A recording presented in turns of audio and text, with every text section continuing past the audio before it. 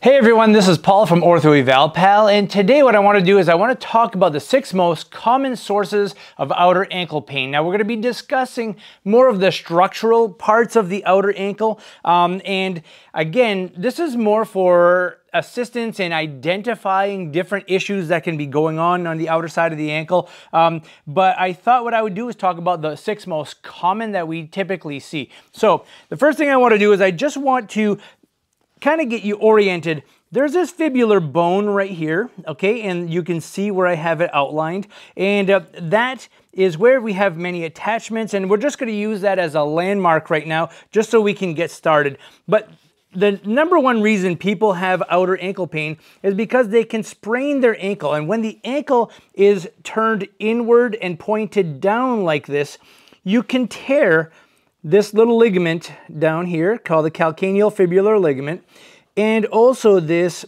anterior talar fibular ligament right here. Those are the two most common. So you can see as if as the ankle drops like this, you can tear these Sometimes it can be quite severe where you develop a significant amount of bruising and some instability of your ankle. So after you sprain your ankle, it may roll really easy after that. If that happens, you really need to have that addressed um, either in therapy or um, see a foot and ankle surgeon or an orthopedic surgeon to have that addressed to make sure that that doesn't stay too loose for too long. All right. The next thing that we can commonly see is something called a Peroneal tendon injury. Okay, so if we follow the back of this bone right here, we come on down here, we have this tendon called the peroneal tendon. We have a longus and a brevis, and that comes right down into this area right here. Now, this can become inflamed and irritated and cause a lot of discomfort, typically increasing mileage when you're running or walking, um, or maybe walking on uneven ground uh, hiking, anything that's unusual that puts an extra strain on that tendon can cause some inflammation. So generally tender from the tip of this bone here all the way along this tendon, okay? And there's a sheath around it that can get very easily inflamed and irritated. The other thing that can happen is this tendon has a little sheath over it right over here that helps to hold it in the groove. And sometimes that little sheath can tear.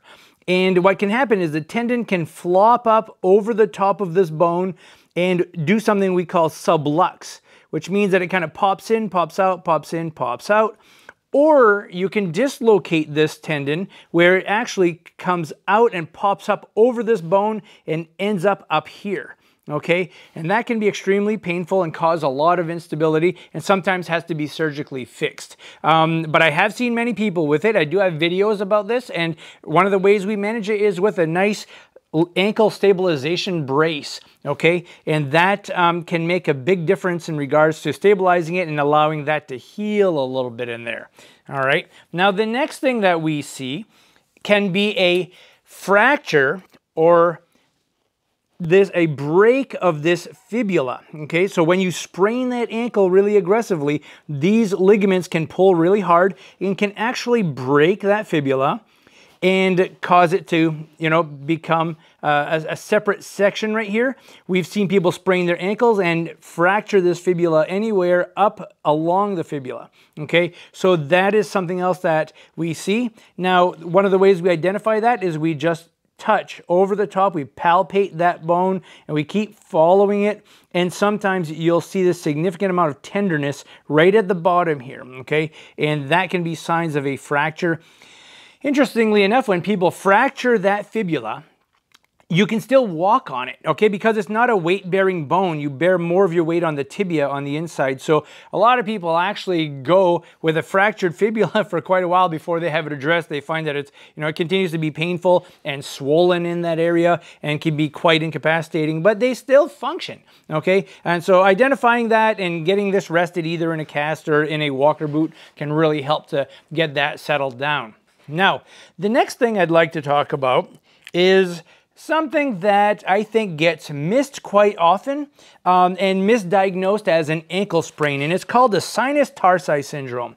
So if you find the end of the fibula and you move forward into this little gully right here, and I'm going to put a circle where it is, right there. That is called the sinus tarsi. And what happens here is if you have chronic ankle sprains, you can cause a significant amount of inflammation in this little area. But what happens also is that if you have a flat foot, your foot can turn out like this and you end up with this pinch in here. And that can kind of bind up quite a bit often because people don't have great flexibility of their calf muscle. So what they have to do is they have to collapse the foot and compress that area. And that can be very painful, very easily treated with um, orthotics. Doesn't need to be custom, but semi-custom orthotics are, uh, can be fine. And trying to decrease that inflammation in there with modalities, sometimes an injection uh, can help. And then strengthening all the muscles on the inside of the foot and ankle to get it to hold out here so that it doesn't continue to pinch in that position right here. Now, something that is a little less common is something called a sural nerve entrapment. You have this nerve that comes down the back of your leg here, and it branches off to the outside part of the ankle down into the outside part of the foot. Sometimes if you have a trauma to the outer calf or the back side of this part of the calf, that can cause an irritation to that nerve, which will cause a burning and tingling sensation down into this part of the foot. Um, that can be quite annoying and quite painful. Um, the other thing that we see are maybe people who are starting to exercise a lot and really starting to see a lot of bulk in that calf muscle. That muscle can push on that nerve and cause this tingling and burning sensation and pain around the outer side of the ankle, commonly re-irritated by poking around up here. And these can respond really well to nerve gliding exercises, which we also have some videos of. Um, and the last thing that I want to talk about is a talar dome lesion. Inside this part of the ankle is a basically a dome like this where the ankle comes together like that.